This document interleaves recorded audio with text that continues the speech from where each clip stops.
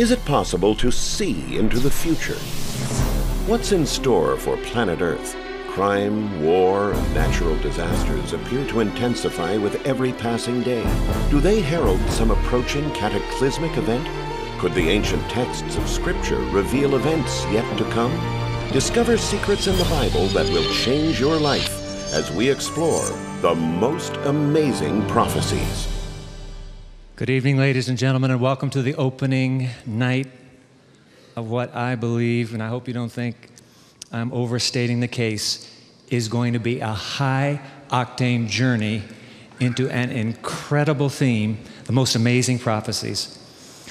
I'm Dwight Nelson, your host, and I am standing in this site that will be the home base for Most Amazing Prophecies. This happens to be the Pioneer Memorial Church on the campus of Andrews University in a little Michigan village called Berrien Springs, and we are going tonight to the world. There is no question in my mind, ladies and gentlemen. I think this is not rocket science now. We are living in an age of human history when there is an unprecedented interest in ancient prophecy, living in the uncertain times that we are.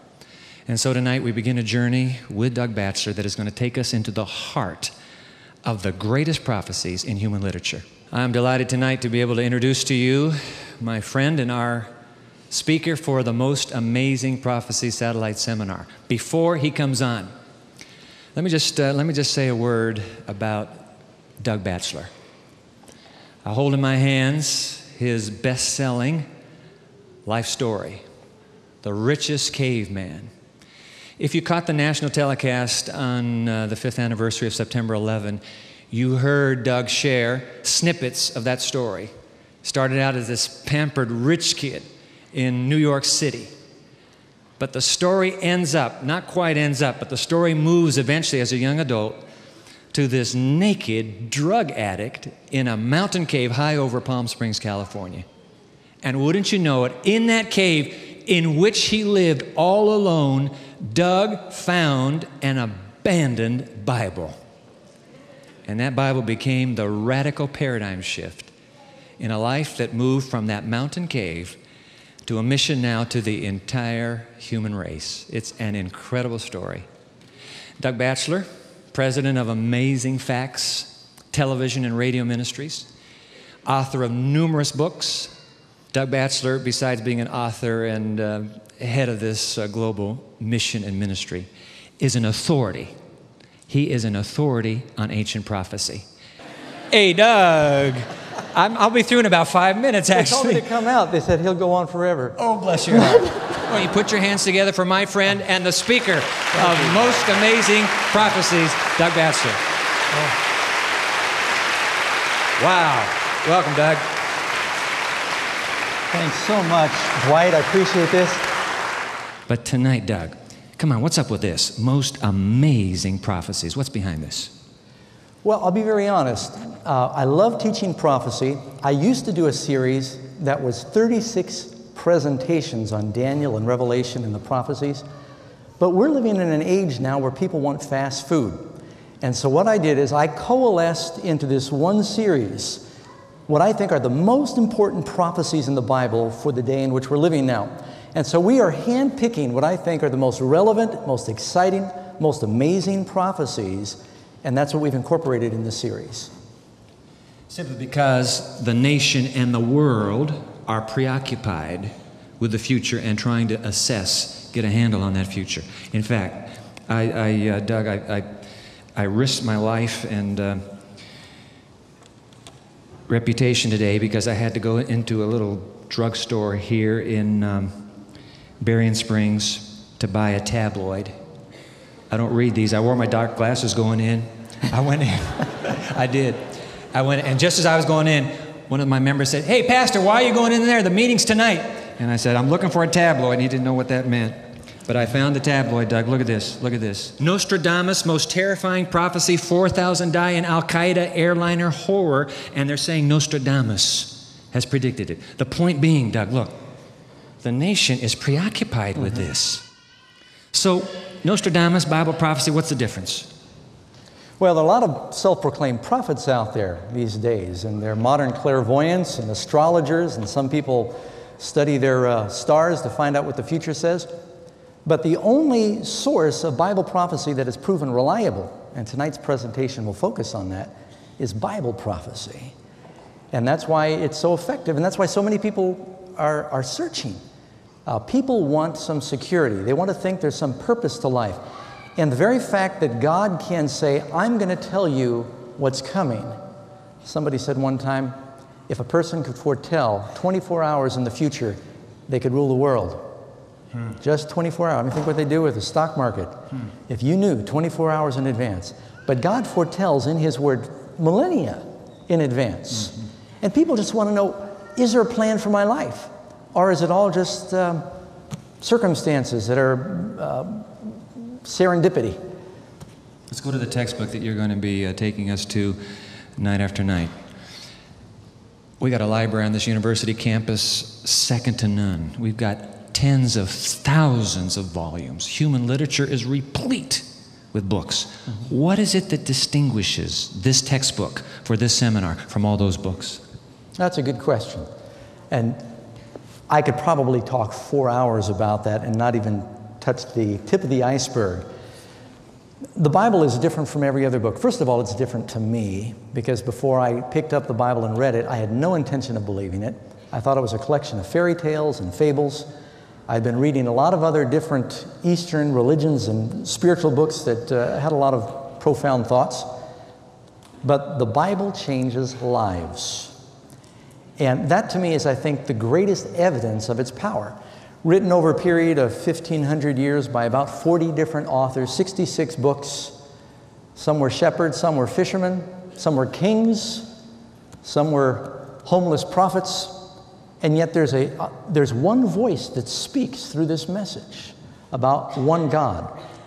And the Bible really, it's the sacred oracles that have stood this, the test of time. There's a reason it's the bestseller. It addresses science, it addresses history, it addresses politics, it addresses health, it's sanitation. Every realm of life is touched on. The family by the Bible, finances, it's all in here. And so it's a life, it's the book of life, is what it is. One last question. You, you promised to say something about your, your family, and I said you would. Your religious background, your family, just a word? Um, my mother was Jewish I, on that side, and so I've got that heritage. I take a little more after my mother probably than my father. She was bald. And no. and my father came from a Baptist background, but uh, they pretty much raised me an atheist. Mm.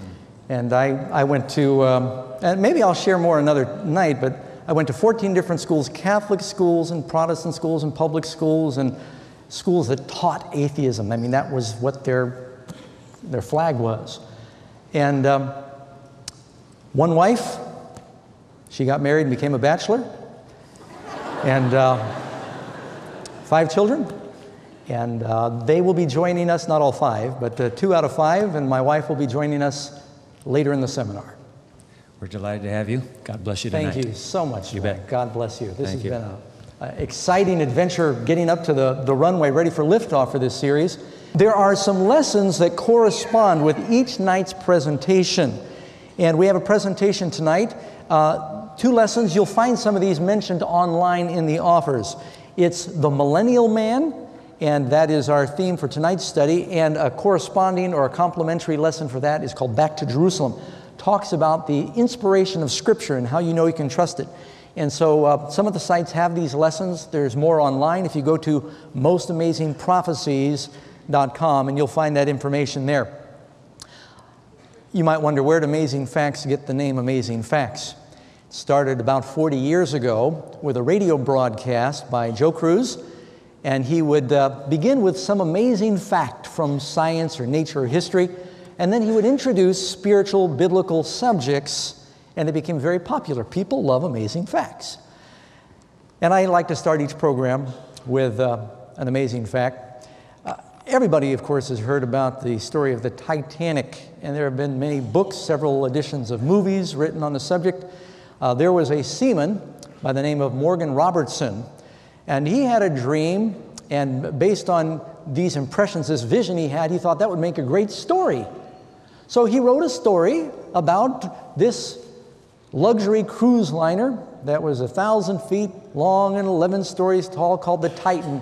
And on its maiden voyage, filled with millionaires, it struck an iceberg because they were trying to break a speed record.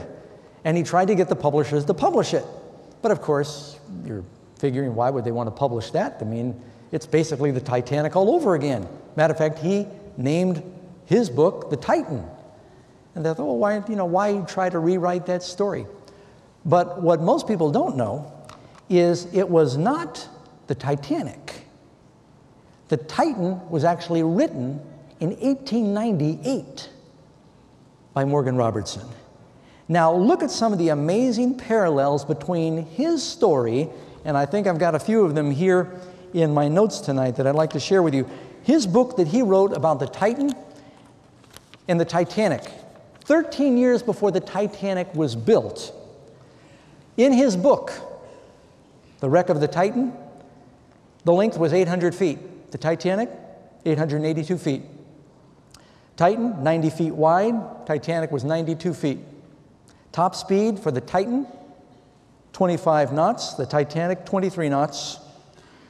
Water compartments, oh, both ships were deemed unsinkable. 19 watertight compartments in the Titan. Titanic had 16. Both had three propellers, which was unheard of in the day when he wrote that. Capacity 3,000 tons for the Titan, 3,200 tons for the Titanic. Number of people on board 2,000 in the Titan, 2,250 on the Titanic. There weren't enough lifeboats on either boat. Only 24 on the Titan, 20 on the Titanic. Catch this. In Robertson's book, written 13 years before the Titanic was built, it sailed in April from New York. Titanic, of course, sailed in April to New York. And I could go on and on with the parallels. It's absolutely uncanny. And you wonder if this dream he had about writing a novel, if it was some kind of a divine premonition. Can anyone really know the future? I believe the answer is yes. There was a day when I would have said no.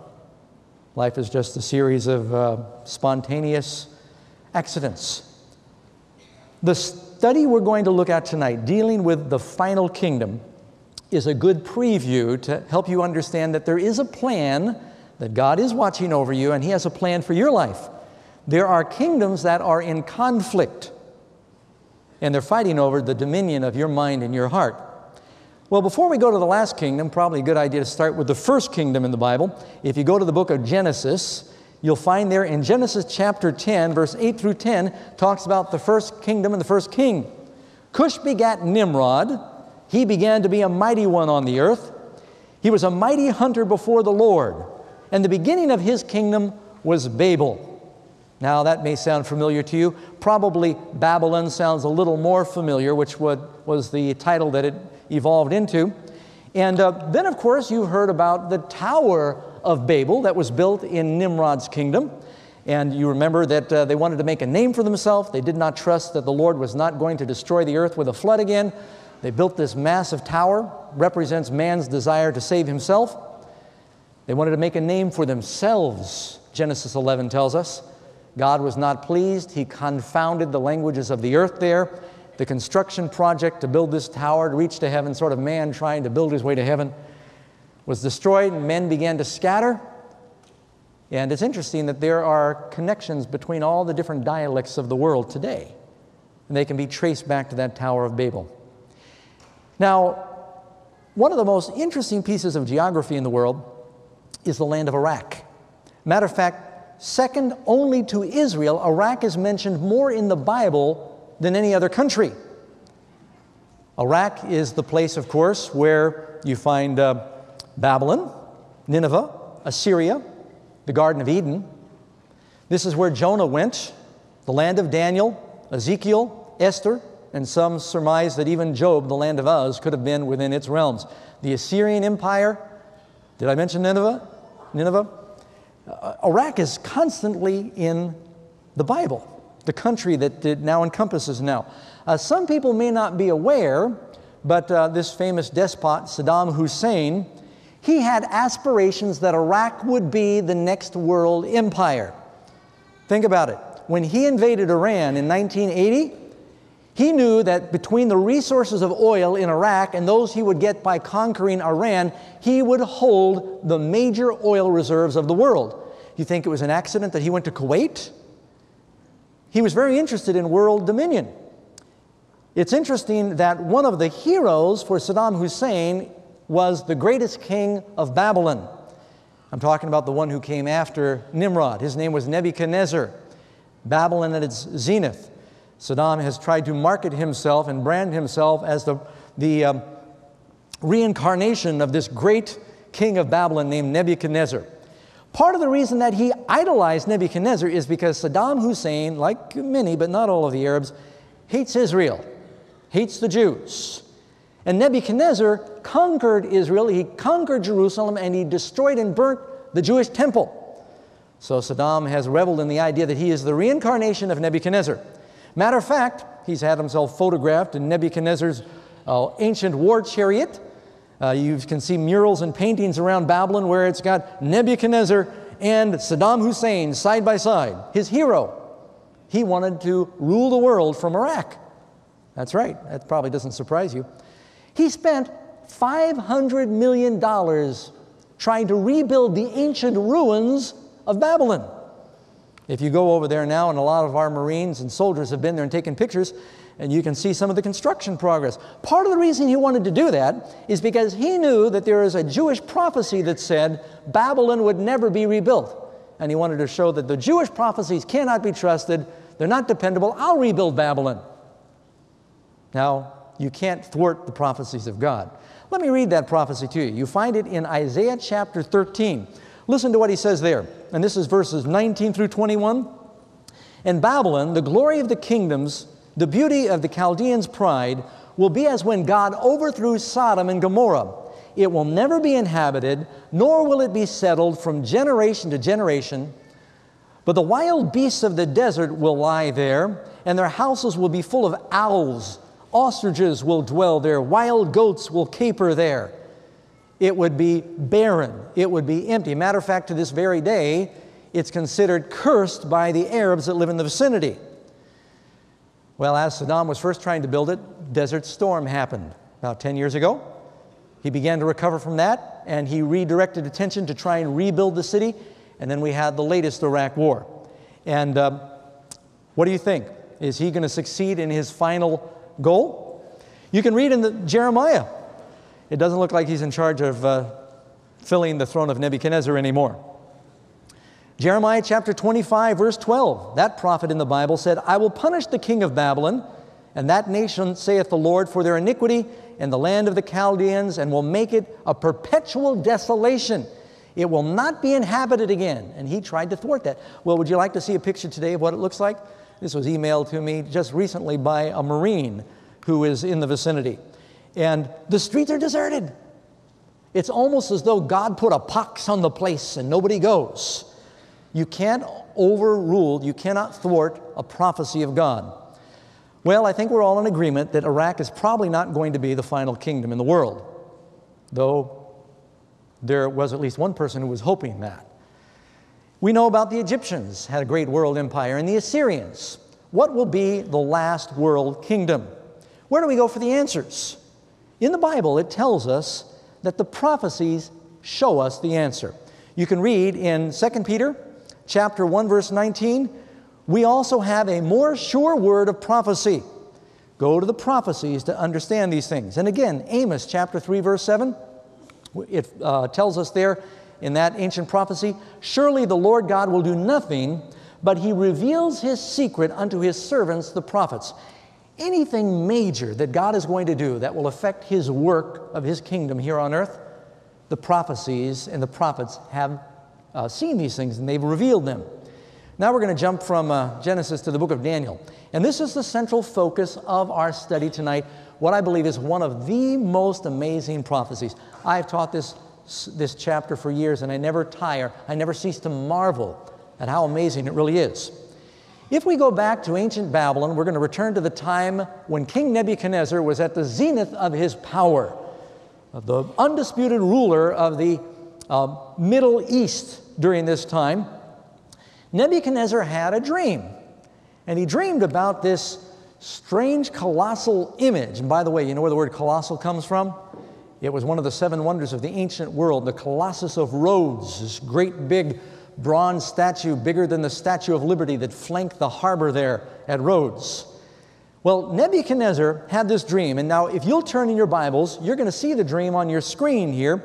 I'm going to read it to you from Daniel chapter 2, verses 31 through 35. You, O king, were watching, and behold, a great image. This great image, whose splendor was excellent, stood before you, and its form was awesome. This image's head was of fine gold, his chest and his arms were of silver, its belly and its thighs were of bronze its legs of iron, its feet partly of iron, partly of clay. You watched while a stone was cut without hands, which struck the image on its feet of iron and clay, and it broke them to pieces. Then the iron and the clay and the bronze and the silver and the gold were crushed together and became like the chaff of the summer threshing floors, and the wind carried them away, so no trace of them was found. And the stone that struck the image became a great mountain and filled the whole earth. Now, in this dream, in this vision, we find an outline for the major kingdoms of the world. And um, we're going to take a look now, and I use a question answer format. I find people remember better when you do it that way. When Nebuchadnezzar had this dream, he knew it was not the ordinary dream from eating too much. And he woke up, he realized God has just revealed something to me. This was a three dimensional apocalyptic dream, a vision that was very um, real and, and tacit. And he called together the wise men and the counselors in his kingdom, and he said, I've had this dream, and I want you to tell me what it means. But as often happens, sometimes you have a dream and you say, wow, and you try and tell it to somebody later, and that part of your brain that remembers it, it shuts down. And you say, you know, it's foggy now, I can't remember. And the uh, wise men said, well, Nebuchadnezzar, king, you tell us the dream, we'll tell you the interpretation. And he sort of suspected, he was a very smart king. You don't get to be a world ruler by being a numbskull. And he suspected that they were charlatans. And he said, Look, if you're really in touch with the gods and you're able to give the interpretation of my dream, then I'm having trouble remembering it. The thing is gone from me. Tell me what the dream is, and then I'll know you can tell me the interpretation. Well, he called their bluff, and they began to shuffle their feet and say, well, no, no, that's not how it's supposed to work. You tell us the dream and we'll concoct, we'll manufacture an interpretation. And he said, You're frauds. And he, in his fury, because he knew that God had told him something in this dream, he had gone to sleep that night wondering how long his empire would last. He issued a decree in his haste that all the wise men should be gathered together and they would set a date on which they would all be executed. So, now I'm going to use my question answer format. Question number one when the king's counselors failed to reveal and interpret the dream, what was Nebuchadnezzar's command? Daniel chapter 2, and by the way, I hope you'll read Daniel chapter 2 when you go home tonight. The king commanded to destroy all of the wise men of Babylon. Now, park that thought there, and I need to wind the tape back to Daniel chapter 1 and give you a little history. I mentioned earlier that um, King Nebuchadnezzar was the one who was responsible for conquering Jerusalem. And he destroyed the city and he carried away the captives. It was burned in 586 BC. He carried away the captives to Babylon, many of them. Among the captives that were carried away, he handpicked young men that he thought showed the greatest promise for intelligence and ability and quickness. And he said, I'm going to train them in the University of Babylon, which was the best in the world at the time, so that they are prepared to live in the court of a king and they can mediate between me and their people and, and give me some of the advice from their culture. Among those young men that were carried into that uh, Babylonian university for this training were Daniel, Hananiah, Mishael, and Azariah. Now, they were basically freshman wise men, if there is such a thing. Probably have some on your campus here, don't you? And in question number two, when Daniel learned about the death decree, what did he ask of the king and what did he tell his friends? The Bible tells us in Daniel 2, verse 16 Daniel went in before Nebuchadnezzar and he asked the king that he would give him time. He says, You're, you're never going to find out your dream by executing everybody. You give me time, I will pray, and I believe my God will give the answer. And he said, And we will show the king the interpretation. What would you do if you had to dream somebody else's dream? Then Daniel went to his house, chapter 2, verse 16, and he made known the thing to Hananiah, Mishael, and Azariah, his companions, that they would desire mercies of the God of heaven concerning this secret. Secret things belong to the Lord. Question number three When the Lord revealed the dream to Daniel, to whom did he give praise and credit? Now, this is important because a lot of people who claim to be prophets, they say, you know, you pay my bill, I've got this special power, and, and it's in me. It's because of my wisdom and my insight. Daniel said, I'm not going to take the credit. Daniel said, There is a God in heaven that reveals, what's it say on the screen there? Secrets. This is a revelation in the book of Daniel. A secret is being revealed. He was giving God the credit. And then Daniel was finally brought before the king because he had said, I've had the dream. They praised the Lord for giving him the answer and he began to unfold for King Nebuchadnezzar his dream. Now, I think this is very interesting. Only time in the Bible I know of that two different people had the same dream. And it's interesting that here you have the king has a dream, he doesn't know what it means. He must go to a Hebrew captive, essentially, to understand what the dream means. Reminds me of the book of Genesis, in the book of Genesis, where Joseph must come before the Pharaoh because the Pharaoh's wise men can't tell him what his dream means. Why is it that these Hebrews seem to have the answers? I think the Lord is telling us that among all the wonderful things in various religions of the world, that God had committed to the Jewish people the oracles of God. That's what uh, Paul says. The true prophecies, the truth had been committed to this people. And here you've got these pagan kings that are going to these Jewish captives saying, What is truth? That's what Pilate said to Jesus. Number four, why did Daniel say that God gave the king this dream? Answer? He said, There is a God in heaven that is revealing secrets, and he's making known to the king Nebuchadnezzar what shall be, what's that say? In the latter days. Is that past or is that future? God is making known something about the future. Let's move on. Question number five. What two objects did Daniel say the king saw in his dream? There are two principal things that were in this vision that you find here in chapter 2. He says, Thou, O king, sawest, and behold, a great image, and thou sawest till a stone was cut without hands. So you've got this great image. Matter of fact, I just happen to have Nebuchadnezzar's image right here tonight.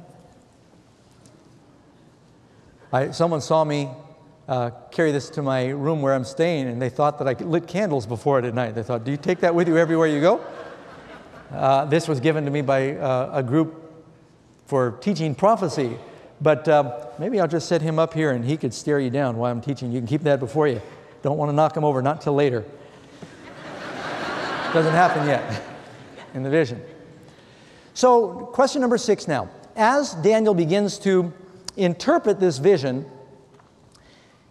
he begins to go through the various minerals, and these minerals represent the kingdoms of the world that would have a profound influence, especially on God's people. And he begins by telling King Nebuchadnezzar, What does the head of gold represent? Question number six, Daniel chapter 2, verse 38. Thou art this head of gold. Babylon was a golden kingdom. Matter of fact, a um, couple of wonders of the ancient world, according to the historian Herodotus, the hanging gardens of Babylon that Nebuchadnezzar built for his queen were considered to be some of the most beautiful in the world. Exotic plants had been brought from all different parts of the world. Ancient Babylon was laid out, it's almost unbelievable, but I, have read it, if the historians aren't exaggerating, 15 miles on each side, avenues 150 feet wide. You almost look, you looked at the ruins that we saw that uh, Saddam had excavated, and they were very wide streets, weren't they? 25 intersecting uh, avenues like this, the wall 67 feet wide at the bottom, wide enough at the top for four chariots to run abreast across an interstate going across the top of the walls. Euphrates River ran underneath the walls of Babylon. It was the golden empire. Gold was everywhere. great temple of Marduk was in the middle. The Babylonian Empire ruled for a comparatively short period of time from about 606 to, 536 BC.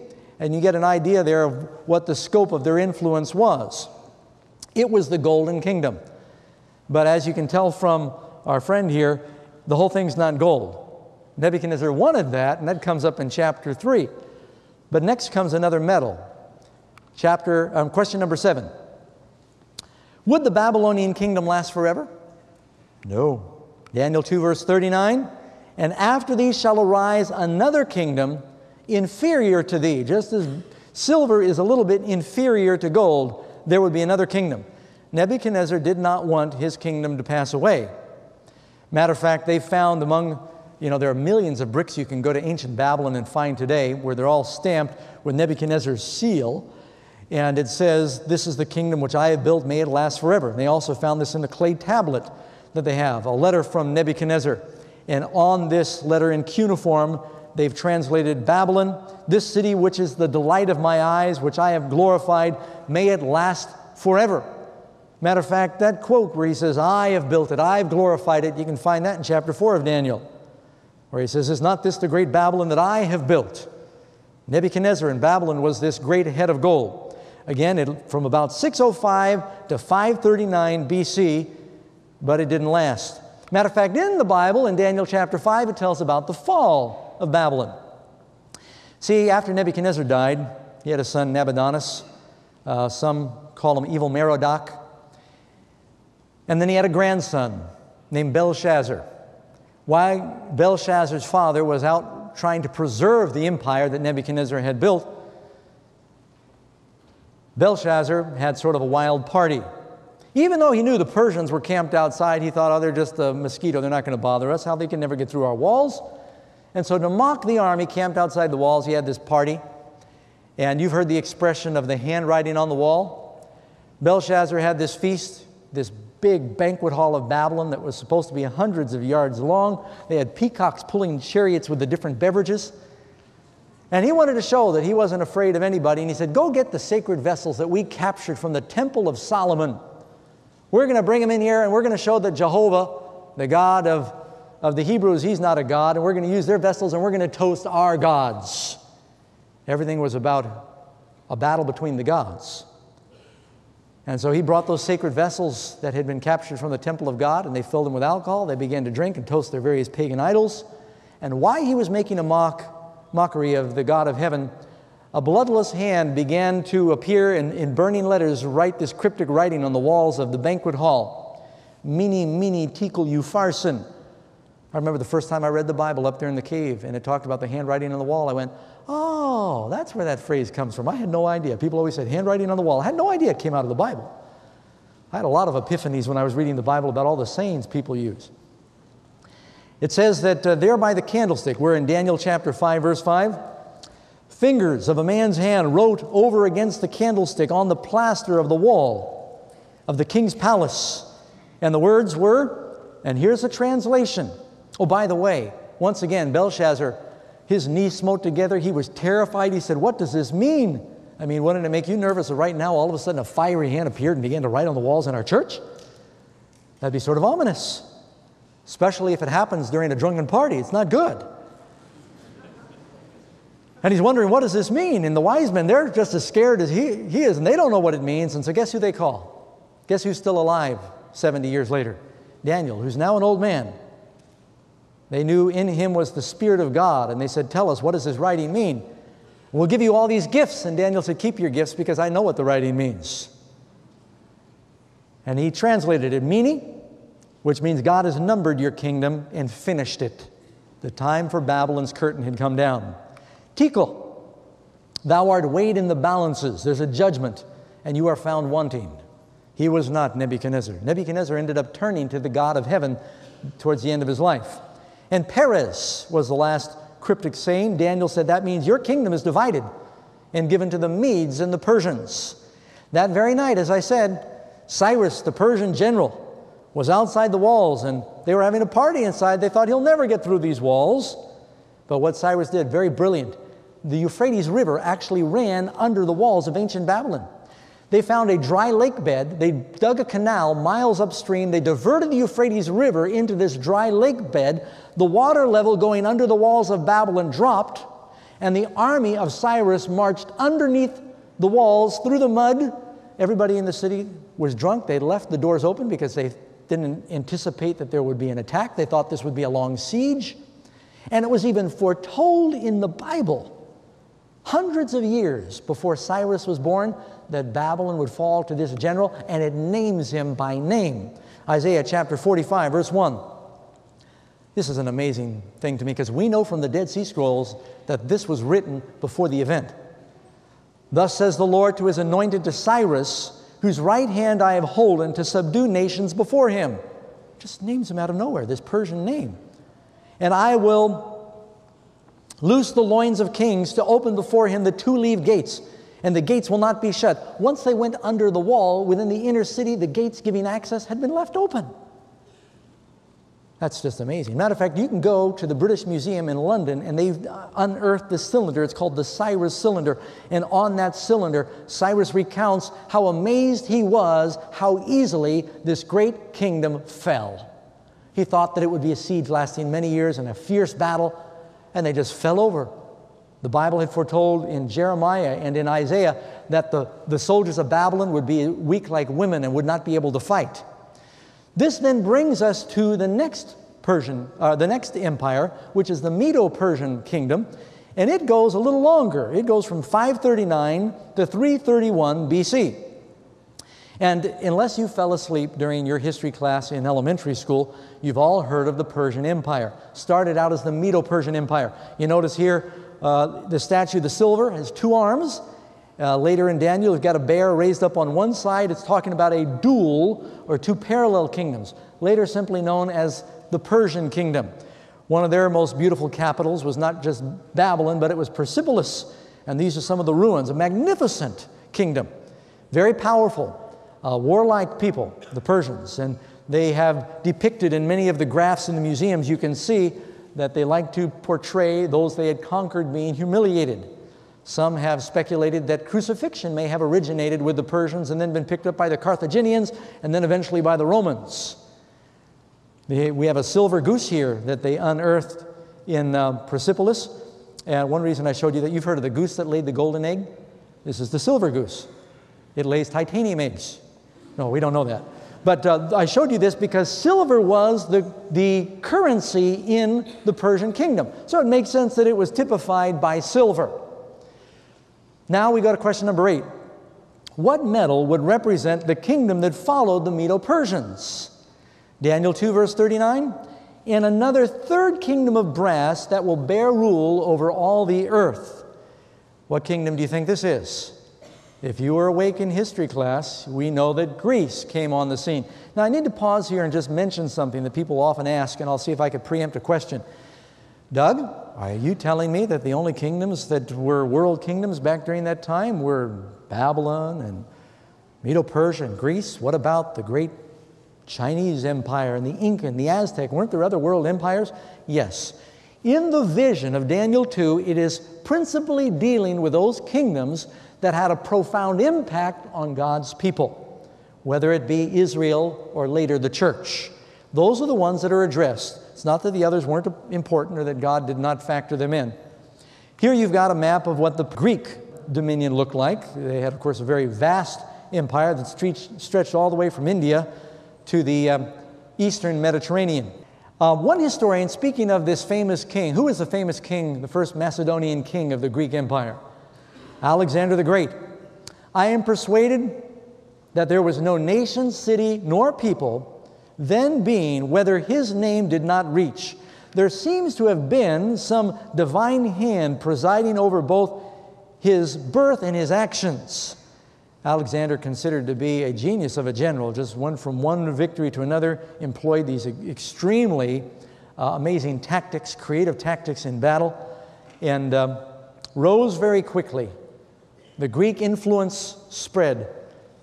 Uh, Alexander, though, uh, as he continued with his success, uh, he began to, began to think he was a god. He went to uh, Egypt and went to one of the temples there and had himself pronounced a god. And that wasn't long after that. He went to Babylon and he died. They don't know if it was a combination of drinking too much and malaria, but he died very suddenly as a young man. Matter of fact, as he was dying, he had not uh, had an heir yet. Um, his wife Roxana said, Who will rule in your place? And supposedly his parting words were, The strongest, because he had not chosen an heir. And, and uh, that's exactly what happened. His four generals began to fight among themselves over the territory of the Greek Empire. Bronze was what they used for their armor. Oh, by the way, if you read in the Bible, it will say that this next kingdom is a kingdom of brass. Brass, as we know it today, was not really developed by the, um, the alchemists until about 16, the 16th century. This is really bronze that we're talking about, but the Old English word used the word brass there. Greece ruled from about 331 to 168 BC. That was the next world empire. Now, what's really interesting about this, Daniel lived to see the Persians come on the scene. Daniel, even in the book of Daniel, foretells that Greece would be the next world empire by name, hundreds of years before it happened. Only God can do that. That's why many of the skeptics have said Daniel could not have been written when they claim it was written. It could not have been written by the prophet Daniel because no one can have that much prophetic knowledge of the future. So their critics have always tried to find some way to attribute Daniel to some other late author. Next, question nine. What metal represents the fourth kingdom? Now we're getting down here to the legs. It says in Daniel 2, verse 40, the fourth kingdom shall be strong as, say it with me, iron. I want to make sure we're still awake here in, in uh, Michigan. For as iron breaketh in pieces and subdueth all things, and iron that breaks all these things shall break in pieces and bruise. Rome was known as the iron monarchy. Matter of fact, they had iron uh, swords. Uh, the Greeks had bronze swords. I was in a welding class one time, and my teacher, who studied history, he said, Back then you could take an iron sword and you could cut a bronze sword in two if you had a sharp iron sword. And um, you remember when David managed to get the sword of Goliath, the Philistines had iron swords, and he said, There is none like it. And so this was the Iron Kingdom. And it was during the time of the iron monarchy of Rome that Jesus was born. They were iron swords that went into Bethlehem and slaughtered the baby boys there. It was an iron spear that pierced Jesus' side. This was the iron monarchy. Edward Gibbons, who did not claim to be a Christian, actually drew from the prophecies of Daniel in describing the Roman Empire in his famous book, The Decline and Fall of the Roman Empire. He said the images of gold and silver or brass that might serve to represent the nations and their kings were successively broken by the iron monarchy of Rome. So Rome ruled now from about 168 BC to the mid 4th century. The scholars and historians are they're not agreeing about exactly when Rome fell because Rome was not conquered decisively like some of these other kingdoms. Instead, the Roman Empire sort of disintegrated, which actually leads us to our next question. Question number 10 What would happen after the fall of the Roman Empire? We're tracing our way down from the head through the feet here, into the legs rather. It says, The kingdom shall be divided as the toes of the feet were part of iron and part of clay. So the kingdom will be partly strong and partly broken. Little by little, because of the excesses in Rome, because of the encroachment of other empires from the outside, they were being attacked by the Huns. Uh, Edward Gibbon, in his book, he attributes the fall of Rome to the moral erosion within the empire. Matter of fact, if you study some of the five elements that preceded the fall of ancient Rome, you can find many of those same things in our country today. Talked about the breakdown of the family, uh, government spending uh, irresponsibly. Uh, a lot of it was on armaments, or the bulk of it, and just a moral collapse. The people were preoccupied with entertainment. Did you hear that? The Romans became preoccupied with the theater and entertainment and sporting events. Instead of the other nations that were coming in from the outside. Life began to be a big party. And little by little, Rome disintegrated, not all at once, but it fell. And what did, what did it turn into? It didn't turn into one more power, one more kingdom. It was divided in what you see today, split around Europe. And uh, some of the names that are traditionally used, the ancient divisions of the Roman Empire, are the Alemanni, which we know as the Germans, the Franks or the French, the Burgundian, the, uh, which is Switzerland, the Suevi, Portugal, the Lombards, which is Italy, the Visigoths, Spain, the Anglo Saxons, England, and there are three others you'll find in Daniel chapter 7, talks about three horns that are uprooted, and that would be the Heruli, the Vandals, and the Ostrogoths, and they don't exist today. But you can still see the remnants of the Roman Empire. All you got to do is go to Washington, D.C. Matter of fact, many of the world rulers wanted to reproduce the power of ancient Rome.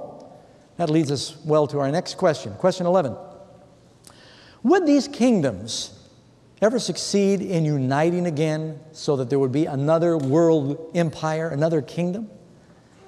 What did Daniel say? Chapter 2, verse 43. It says, They'll mingle themselves with the seed of men, a lot of intermarriage, but they shall not cleave one to another even as iron is not mixed with miry clay. They all wanted to recreate the empire of the Caesars. As some of you remember, um, well, you may not remember Tsar Nicholas. I don't think there's anyone here that old. Well, yeah, actually, there may be. Tsar is the Russian way of saying Caesar. Kaiser, anyone speak German here? Kaiser is the German word for Caesar. And a lot of these monarchs wanted to take the title of the ancient Caesars. There's even somewhere you can go in Las Vegas called Caesars, where you could fantasize that you're living back in the Roman Empire days. People are preoccupied with that era because they figured it was one of the greatest empires. Now, something's happening here I want you to notice. What's worth more, gold or silver? Gold's worth more than silver, right? What's worth more, silver or bronze? Silver. And what's worth more, bronze or iron? Bronze. Well, I don't know. China's made iron pretty expensive right now. And you would think, before you get to the feet of iron and clay, iron by itself must be worth more than clay. It's in abundance. Something's happening here. As you go down, the metals are less valuable, but they're harder, they're stronger. Gold is very soft and malleable. And silver is softer than bronze, which is softer than iron. And I'll get to the last mineral here in just a, a few moments. But they, many have tried to reunite the world empire that they had under ancient Rome. You had uh, Queen Victoria. You realize that during her long 60 year reign, this golden era of England, she had 40 grandchildren. She really just wanted to be a grandma. That was her greatest joy. But because they kept trying to forge peace through marriages and alliances, by the time of her death, she was related to virtually every head of state in Europe in one way or another because they were trying to weld this fragile um, real estate back together again into one empire. And they're trying to do it again today with the um, Euro- European Union and the euro through a common um, currency. But what does the Bible foretell would happen? said they will not cleave one to another. There will never again be another one world kingdom. Pastor Doug, wait a second. Doesn't the Bible tell us in Revelation that just before Jesus comes, there's a one world kingdom and that kingdom forces everybody to worship? No, that's not what it says. It's not a one world kingdom. It talks about many kings. There's one world worship. It says he com- compels all to worship. But the governments of the world are going to remain divided until the end. Of course, we know that uh, you've got Charlemagne tried to do it, Louis XIV tried to do it, you've got uh, Napoleon who tried to do it, Mussolini, Hitler, and some of them came close. At Waterloo, Napoleon was stopped, and if it hadn't been for some misdirected orders and bad weather, we'd probably all be speaking French right now. But God intervened. Matter of fact, Napoleon, when he talked about why he failed to reclaim the kingdom. He said, God is against me. Because everything said that he should have won. It's not going to be another world empire with one of these kingdoms. Question number 12 Who is going to set up the final kingdom? The Bible tells us And in the days of these kings, the God of heaven will set up a kingdom which will never be destroyed. Friends, it's not going to be Charlemagne, it's not going to be Napoleon or, or Hitler or Mussolini or Louis XIV or Saddam Hussein. It's going to be King Jesus is going to be the next king. Now, when we get down to the feet, which is where we are now, I want you to think about something interesting. The feet are what? It says they are iron mixed with clay, and then later it says miry clay. Someone who used to teach at this university told me, he says, that is a perfect definition for the number one building material in the world today, which is concrete. Some of you have heard of the Pantheon. You know, the Pantheon, Romans began to use concrete, but it wasn't all reinforced at first. They had a primitive method of using it. But what do you think the number one building material is in the world today? It is iron mixed with miry clay. We got some video footage here that a friend in Sacramento took, and just everywhere you look, Sacramento's exploding. See the iron, reinforced iron? And what does that mush look like? If you were the, the uh, prophet Daniel and you had to describe what you saw as the final material, what better description could you find rather than iron mixed with miry clay? We are living in the age of concrete. Something else that's interesting is if you ever have to bust up a concrete foundation, you find that the iron is not mixed with the clay. The rebar is still separate. And even though there's an appearance of unity, it is not commingled, it's still separate. We're living right now in the very last part of this vision. Again, I want to remind you this is one of the most important prophecies in the Bible because, first of all, it is a dream that is repeated twice. Nebuchadnezzar has this dream. He's wanting to know what the future will be of his kingdom. God gives him this supernatural vision, but he doesn't understand it. The pagan wise men do not understand it. So a Jewish boy is called in, and he is given the same dream. You know, sometimes you might say, I forgot the dream, but then something happens during the day and you have deja vu and it comes back. Can you imagine what the look must have been on that mighty monarch's face as this Judean captive comes in and he says, By God's grace, I will tell you the interpretation of your dream and I'll tell you what your dream is. If someone can tell you what your dream is, would you think you could trust them to tell you what the interpretation is? I think that we can trust that this is one of the most amazing prophecies in the Bible because it is giving us an outline for the kingdoms of the world. We're living in the last days, friends. I believe that. We're down in the feet of iron mixed with miry clay. I was going to say as a footnote, but that would sort of be a pun, huh? We're in the toenails of the image right now because Rome fell hundreds of years ago. What does that mean? That means God has a plan for your life, doesn't He? Question number 13 What does the stone do to the other world kingdoms? It says, You watched while a stone was cut out without hands. Don't miss that and it struck the image on its feet of iron and clay, and it broke them in pieces. And the stone that struck the image becomes a great mountain, and it fills the whole earth. Now, I deliberately wanted to put this out here to help you realize what does this look like to you? Pretend that uh, you had not read Daniel chapter 2. If somebody brought this and set it down and knelt before it, what would you call it? This is an idol. What does the Ten Commandments say? And by the way, what are the Ten Commandments written on? Stone. Jesus said, He that hears these words of mine is a wise man building on the rock. Christ is the rock of ages. Christ is the Word. The Word is written on rock. What is it that destroys all the counterfeit pagan idols and false religions? It was an idol. An idol, especially in the Ten Commandments, it represented all of the counterfeit, false religions and kingdoms. Whenever you pray the Lord's Prayer, Thy will be done, Thy kingdom come. Why would you pray Thy kingdom come if it's already here? Now, the spiritual kingdom has come, but God's final kingdom hasn't come yet, has it? Some people say, yeah, the, the, the stone happened way back in the days when Jesus came the first time, and that was the end of that vision. No, I'm sorry, friends. That leaves out the rest of Rome and the divisions of Rome. That's not what happened. It's talking about Jesus' literal kingdom. Blessed are the meek, they will inherit the earth. And he is not going to share his kingdom with any other kingdom, according to Daniel. When Jesus' kingdom comes, it will fill the whole earth, and all the others are pulverized. That, that idol and all those other metals, they are pulverized and they are blown away like the chaff of the summer threshing floor, so there no place for them is found. They are gone. So it's telling us that when that stone strikes it, by the way, that stone cut out without hands, out of a mountain without hands.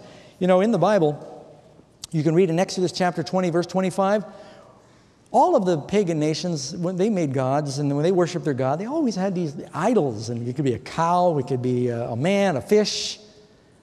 But the Jews were told to be very careful to avoid idolatry. And it said in Exodus 20, verse 25, if you make an altar of stone, they could make an altar of stone, you shall build it, you shall not build it of hewn stone. Don't chisel on it, don't hew it, don't cut it.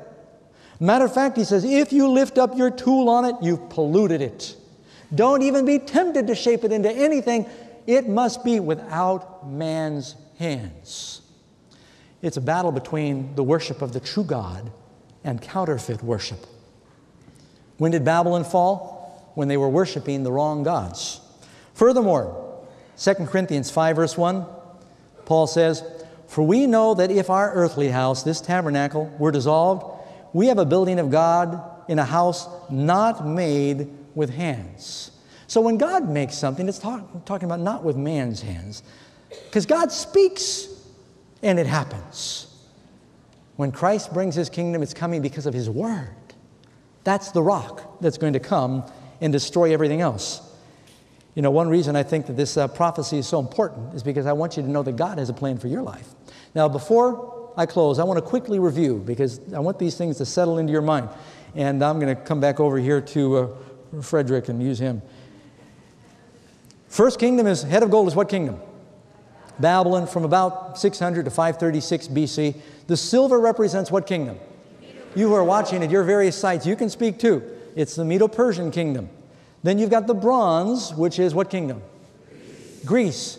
The iron is Rome, about 168 to approximately 476.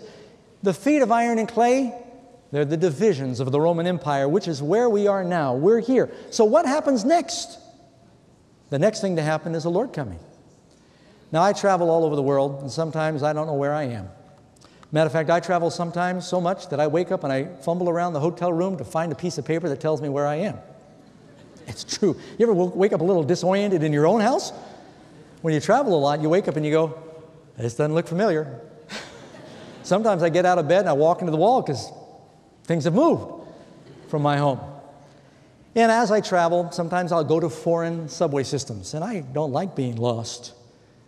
And I found that it really helps if you can get a map. And uh, I remember when I was back in New York City, they've got a great subway system there, and it's all color coded. And you'll find that in France, you'll find that in Russia, you'll find that in Korea, you'll find it in Japan. I've been to all these different subway systems, and it can be very confusing. If you're from another country and you're trying to get underground from one place to another, but it's really helpful if you've got one of these maps.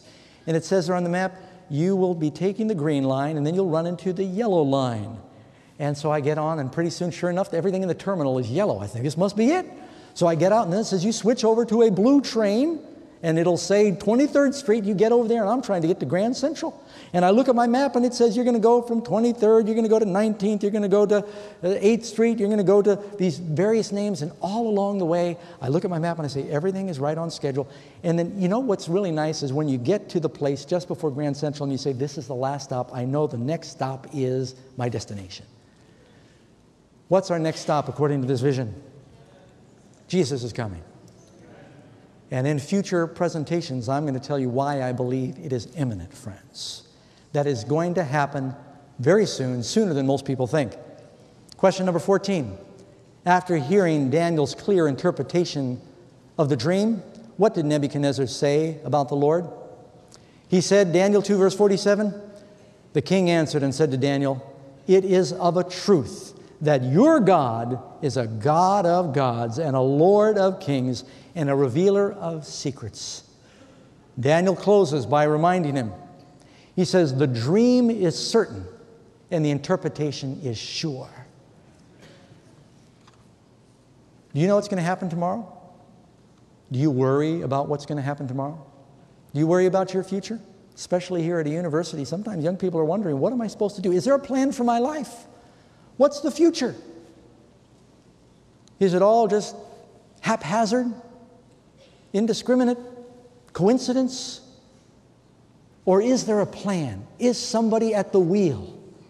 Does God have a plan for my life? I'll tell you, friends, if you had told me about 30 years ago when I was up there in the mountains running around like a nut, where I would be today, I had no idea. But I know now God had a plan for my life. And I want you to know He's got a plan for your life. It's a good plan. Why do you think the Lord gives us these prophecies? To entertain us, to prove that He's God and impress us? No, it's because He wants to redeem us. Don't forget this. The purpose of all prophecy is redemptive. It's not so we can know what movie stars are getting married next, it's redemptive. Prophecy is not so we can know how to invest in the stock market, it's to know how we can be saved. It's teaching us that you and I can know that we can trust the Lord. Have you trusted your life to the Lord? God brought you here tonight. If you're at your locations, wherever you are, you might be watching home on TV. You might be in a church gathering. God brought you, I believe that. And I want you to come back. I believe the Lord wants you to come back. He has a plan for your life. He brought you because He wants you to know that He wants to save you desperately. So much so that that same rock of ages that's coming soon, Jesus, He died to forgive you and to save you, to activate His plan for your life. Have you trusted your life into His hands? I'd like to invite John to sing as you pray about that decision, and then we'll have some closing prayer and comments.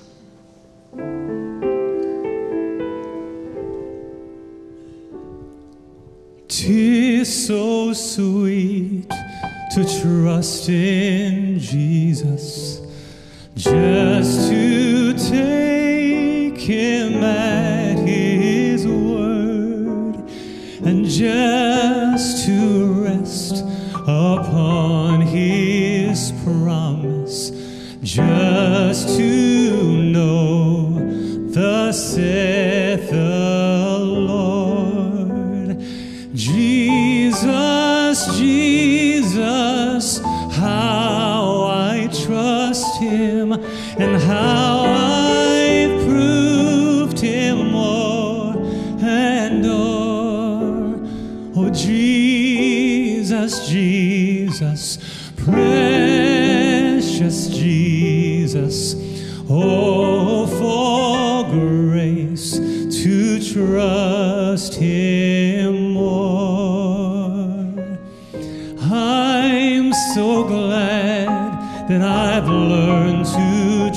trust Him. Precious Jesus, my Savior and my friend. Now I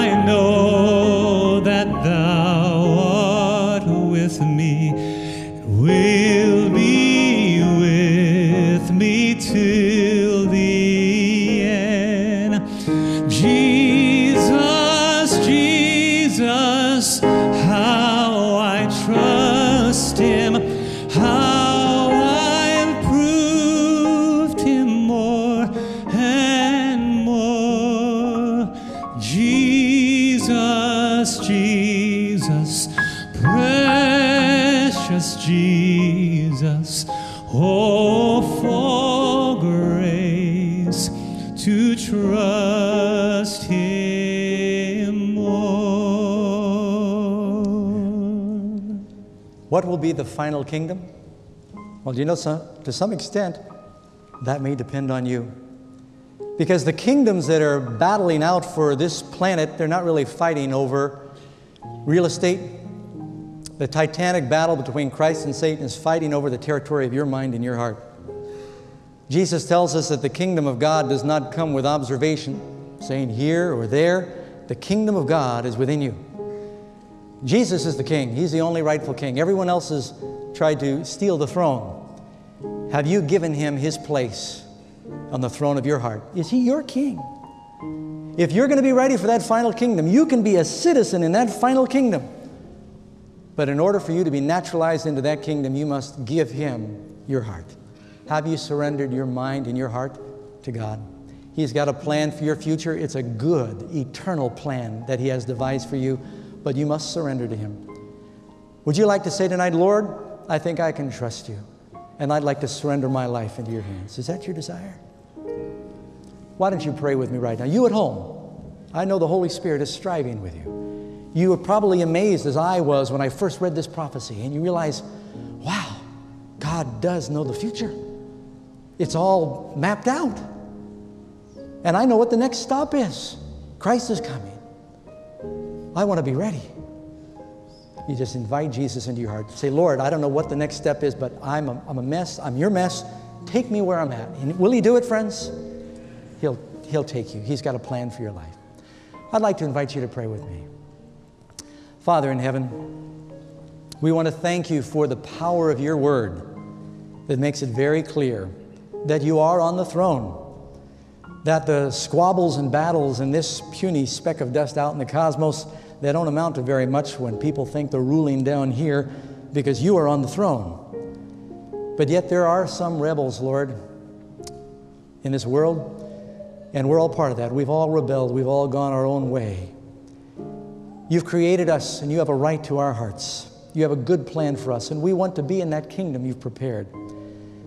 Please, Lord, I pray that every person here will soften and open their hearts right now and invite Jesus to be enthroned within their mind and in their hearts. And when He comes, we will be part of that kingdom that will fill the whole earth. Please rescue us to that end and hear this prayer because we ask in Christ's name. Amen.